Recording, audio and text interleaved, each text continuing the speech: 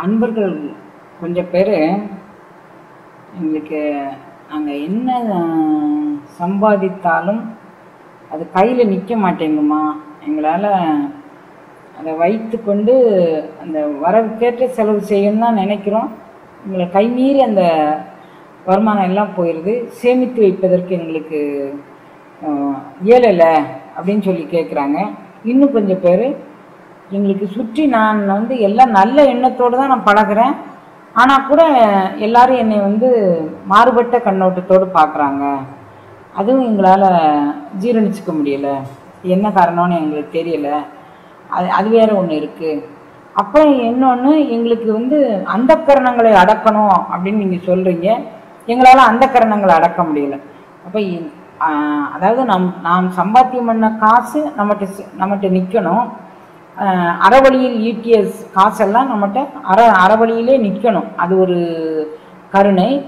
அந்த இதை வந்து நம்ம நோய் நொடி இல்லாமல் அனுபவிக்கணும். அது ஒரு கருணை. அப்புறம் வந்து அகப்பகையும் புறப்பகையும் நீங்கணும். அது ஒரு கருணை.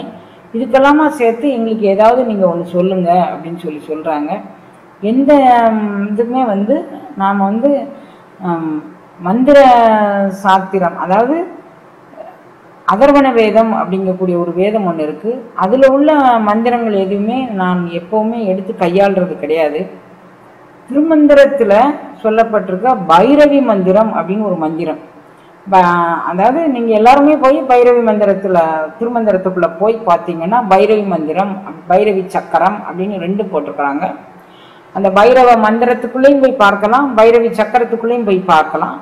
இவைகளை வச்சு நம்ம வழிபாடு செஞ்சால் நமக்கு வந்து அற அகப்பகை புறப்பகை இரண்டும் நீங்கும். அது தவிர நம்மளுடைய ஆன்ம பலம் கூடும். ஆன்ம பலம் அப்படின்னா யாரோ என்னை எதிர்த்து வந்துட்டாங்க என்னை தேவையில்லாமல் என்னை சுற்றி பகைவர்கள் கூடி நின்றுட்டாங்க அப்படின்னுன்னா நான் என்ன பண்ண போகிறேன் அப்படிங்கிறது தெரியாமல் நான் அப்படி திகைச்சு நிற்கும்போது இல்லை நான் இனி வந்து திகைக்க வேண்டாம். திகைத்தால் என்னை தேற்ற வேண்டாவோ அப்படிங்கிறாங்க. இது எல்லாமே இந்த மந்திரங்கள் எல்லாமே யோக நூல் யோக நூலின் அடிப்படையில் சொல்லப்பட்ட மந்திரங்கள். இந்த மந்திரங்களை சொல்வதன் மூலமாக நம்மளுடைய உடம்புல இப்போ நம்ம சாதாரணமாக உலகில் ஒரு இது சொல்லுவாங்க அட்ரினல் அப்படின்னு நம்ம உடம்புக்குள்ள ஒரு சுரப்பி சுரக்கும். நாய் வந்து நம்ம நாய் வரும்போது நம்ம பயந்துக்கிட்டு ஓடணும்னு வச்சுக்கோங்க. அந்த சுரப்பு வந்து அதிகமாக சுரக்க ஆரம்பிக்கும். அப்போ நாய்க்கு அந்த மோப்ப சக்தி மேலே அந்த அட்ரினல் சுரப்பியோடைய அந்த சுரப்பு மேலே இந்த நாய்க்கு வந்து ஒரு மோப்பம் அதிகம்.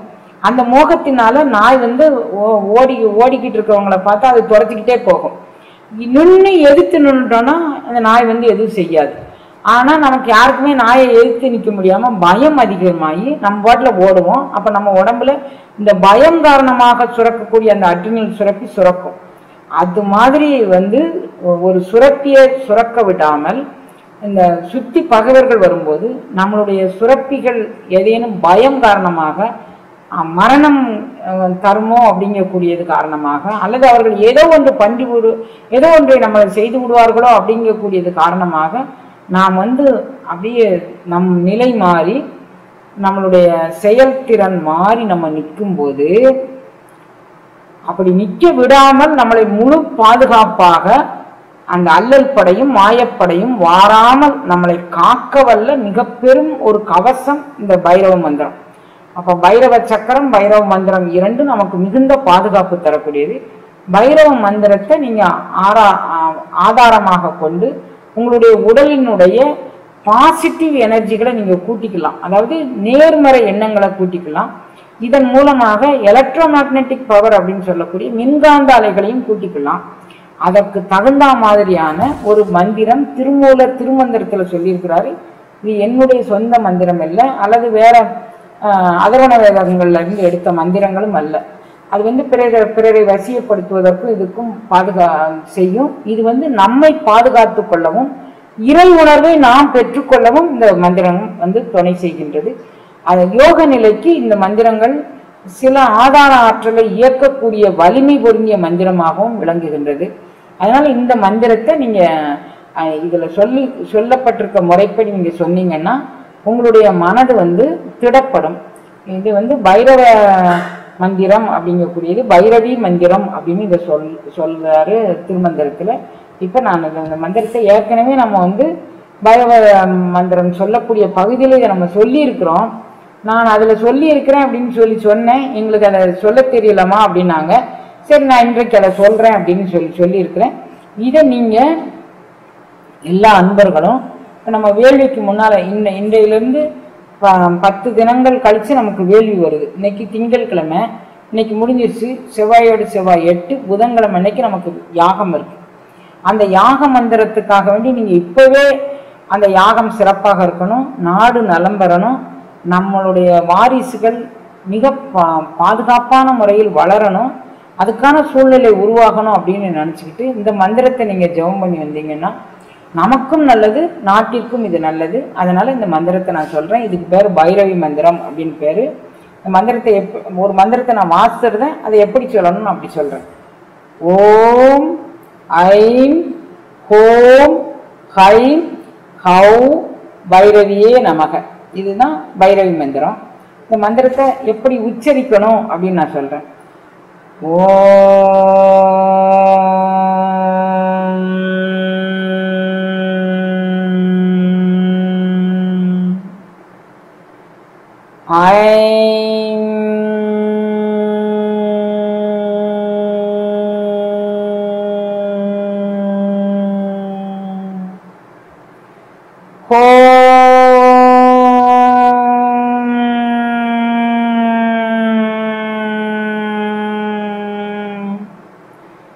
ஹை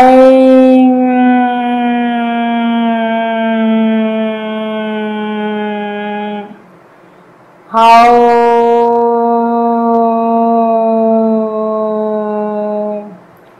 பைரவியே நமக. இதுதான் ஒரு மந்திரம்.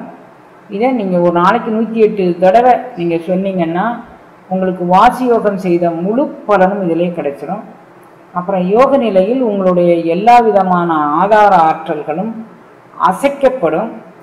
தகுதியான பாத்திரங்களுக்கு ஆதார ஆற்றல் வழியாக சுழுமினை நாடி ஓடி அது வந்து நம்மளுடைய சிதாகாய பெருவழியில் அது நிலை கொண்டு இருக்கக்கூடிய இடம் வரைக்கும் போகும்.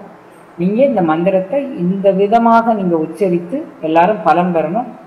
யாகத்துக்கு வரக்கூடிய அன்பர்கள் ஒரு நாளைக்கு தினமும் நூற்றி எட்டு வீதமாக நீங்கள் வீட்டில் ஜெபம் பண்ணிவிட்டு நீங்கள் யாகத்துக்கு வந்து கலந்துக்கிட்டீங்கன்னா அகப்பகை புறப்பகை இரண்டையும் வெல்லலாம்.